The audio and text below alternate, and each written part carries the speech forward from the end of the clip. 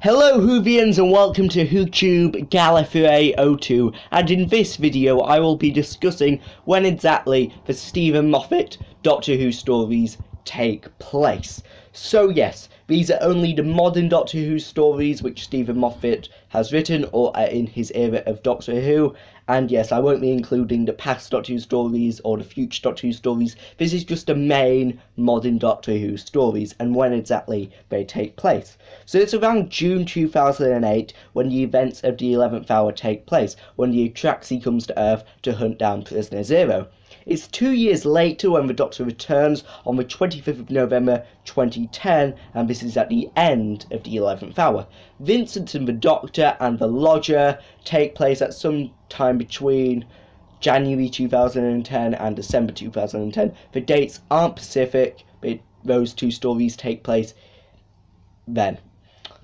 In April 2011, the Doctor is assassinated at Lake Silencio. Six months later, in October 2011, the Doctor returns to greet the Ponds after he's been looking for River's song in Let's Kill Hitler.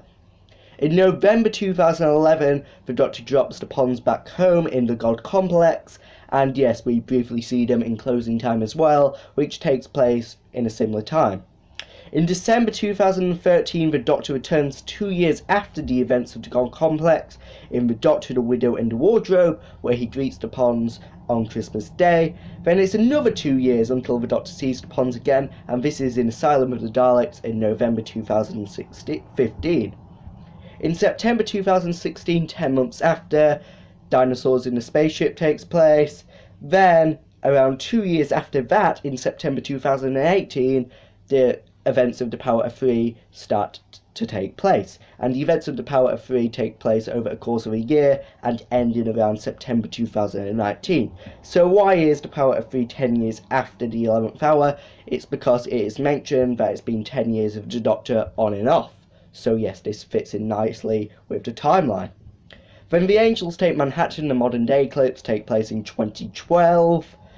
And then we start fresh. In March 2013, the Bells of St. John events take place, as well as the other clips from Series 7 Part 2, which take place in the modern day.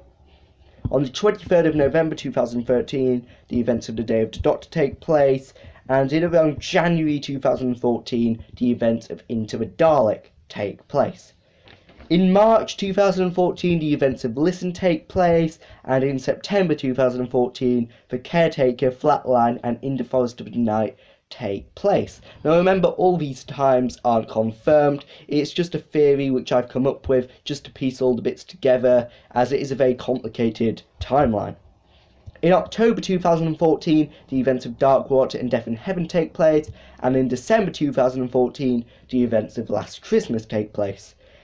In September 2015, the events of The Magician's Apprentice take place, and in November 2015, two years after the Day of the Doctor, the Zygon invasion happens. And as Zygon says in this story, we've had a year to prepare. But it wouldn't make sense if it was a year after, as it doesn't link in with the timeline. So yes, I'm presuming the Zygon said it in Zygon years rather than human years.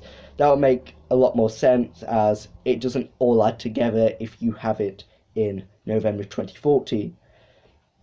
Then in November 2015, the tragic events of Face the Raven take place.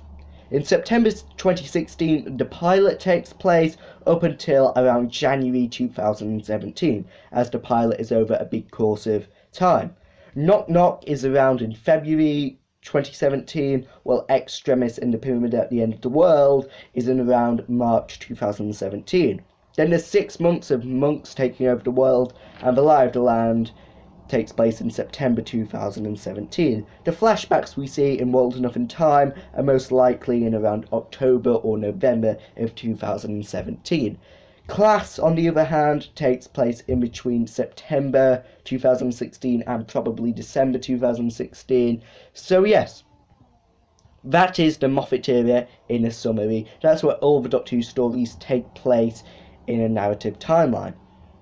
So, yeah, This isn't confirmed, but it all adds together when you think about it. So, yes, until the next time, goodbye.